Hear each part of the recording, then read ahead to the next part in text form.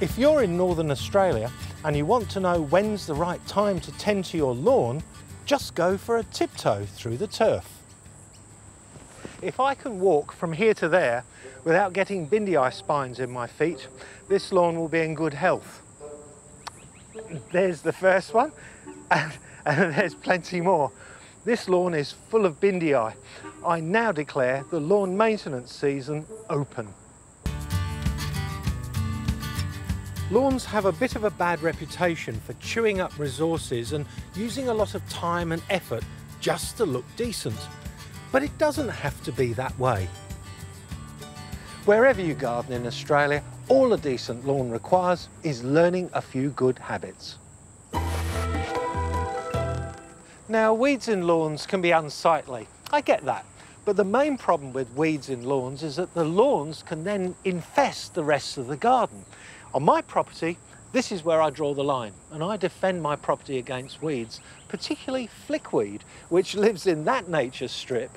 And on many occasions, I've been on my hands and knees pulling it out. Now, flickweed doesn't just grow in lawns, it'll grow in footpaths, pot plants, everywhere. If you let this thing into your garden, you'll never get rid of it. And that's why I'm obsessed with this weed. There's one specimen down here and it's got to go. Removing it will protect the whole of my garden and my lawn. If you see it, give it the flick.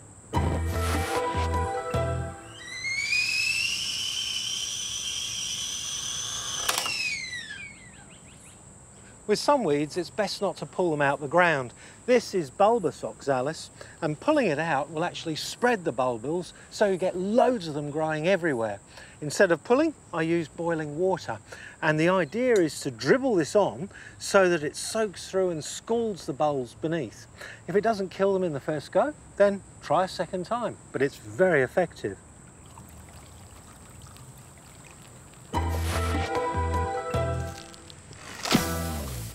If you have a large infestation of a flatweed like bindii, then you need a different solution. And what I use is iron sulfate. The formula is two tablespoonfuls of iron sulfate dissolved in nine litres of water. Now I'm putting them into this pantyhose because this tends to have granules in it. If I don't remove these from the solution, they may end up blocking the nozzle on the rose of my watering can and that makes application very, very difficult. Now that's dissolved. This thing goes in here.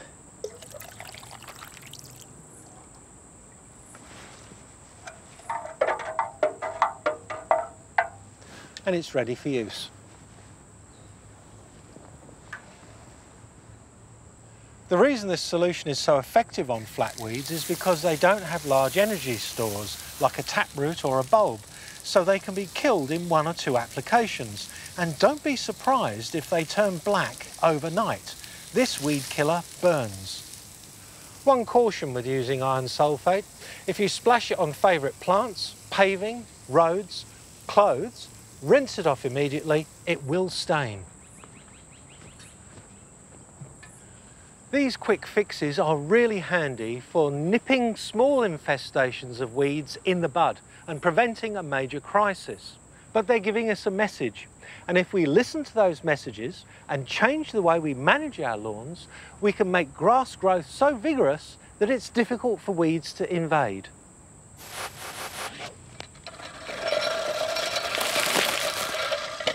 Lawns that are cut too low allow prostrate weeds, flat weeds, to invade the lawn. They create a window of opportunity.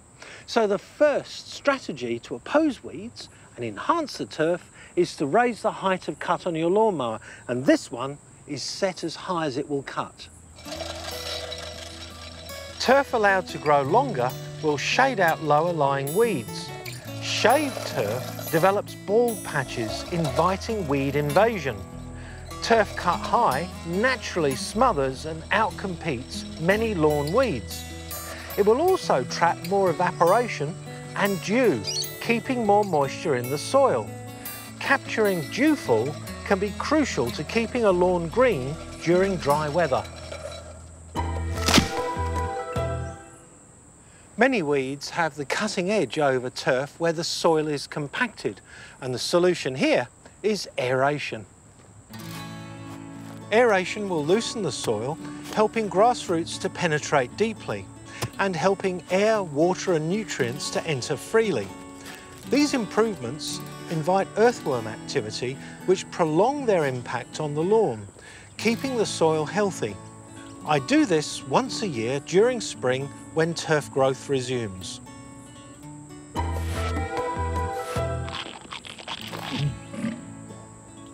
This is my secret weapon.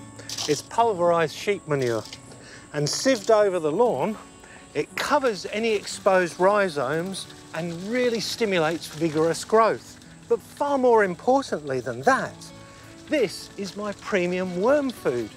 Good lawns need lots of worm activity and their burrowing and aeration and drainage work carries on from the application of this from one year until the next. And that's why this lawn tends to look green even during prolonged drought. So you see, it's really all about good habits. With practice, you'll have healthy soil, lots of worms and a lush green lawn. It's all about tipping the balance in favour of the garden. And you never know, within time, you'll be able to wander barefoot through your lawn with confidence.